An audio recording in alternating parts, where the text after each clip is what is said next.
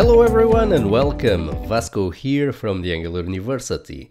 At this point in the course we are going to introduce the RxJS library. So let's have a quick look at our program, what we have so far. We have been using these notions of observer, observable, so this is the core concept and other concepts are needed to be able to use it effectively, such as the observer or the subject we have been using this set of concepts that represent an evolution from this pattern here, so they solve some of the issues that this pattern had. We have been using these concepts to build our applications, to build asynchronous programs. What we're going to do now is, instead of using these custom types that we have used here, we are going to be using the RxJS library. So I really encourage you to see the newest RxJS documentation because it is much improved. If you have a look here at the public API of the library, you will see that everything is about subjects, it's about uh, the observable, it's about the observer. So everything about the library revolves around these three concepts so in a nutshell, what is RxJS? We can say that RxJS is a toolkit that allows us to build programs, asynchronous programs, around the observable pattern that we have been discussing on the previous section. If you now have a look at the multiple operators, you will see that everything about the library is about creating observables, creating subjects and combining the two, connecting the two together in the multiple different ways that we need to build our application. So it all revolves around the observable pattern. So what we're going to do now is we are going back to our program. We are going to take the version of the program that we had here. We are going to delete all these custom types that we made and we are going to replace it with RxJS. We are going to see that RxJS is simply a toolkit to build programs around the observable pattern. So let's get started. The first thing to do is we go to the terminal and we are going to check out a new branch for our application. We are going to check out the branch that is called introduce RxJS. So again, we are going to create here a local branch and we are going to check out the remote branch that has the same name under origin. So with this, if you now do git branch, you should see that you are currently on the introduce RxJS local branch. Please ignore the other branches that you have here, these are just some of the local branches that I have here on my computer.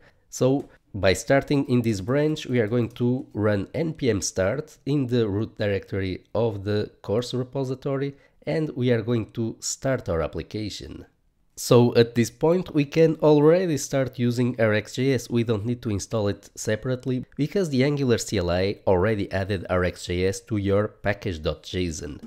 So what we're going to do here is we are going to delete these concepts, the observer, the subject and the subject implementation as well.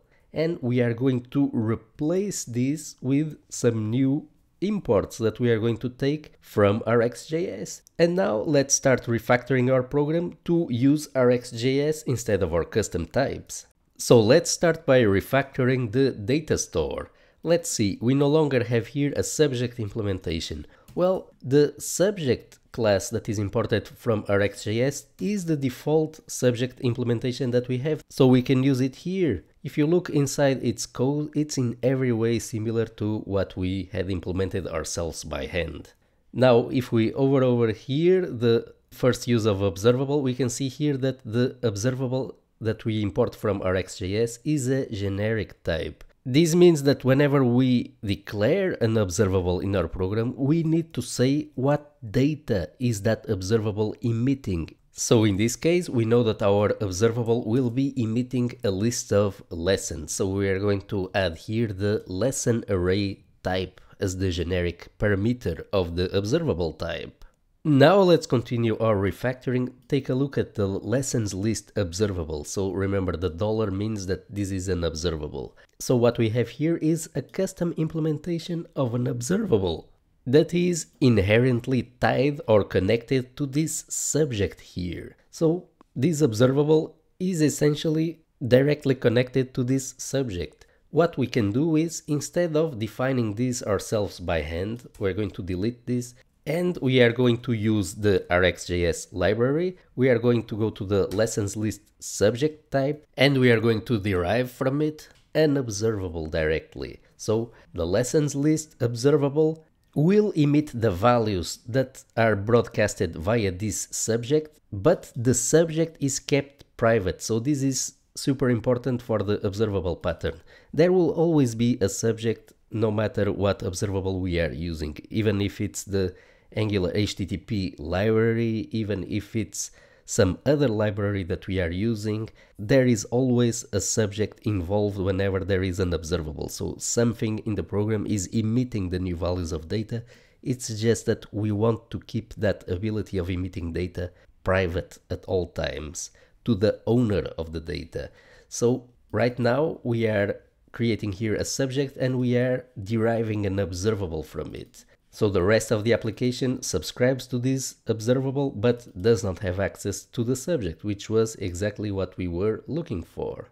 So with this change we have here a compiling data store class. And with this we have introduced RxJS in our program. As we can see, it's simply a toolkit for building asynchronous applications around the observable pattern and its associated concepts such as subjects, observers, etc. So now that we have refactored the store, let's continue refactoring our application for using RxJS instead of our custom observable implementation. This is coming right up in the next lesson.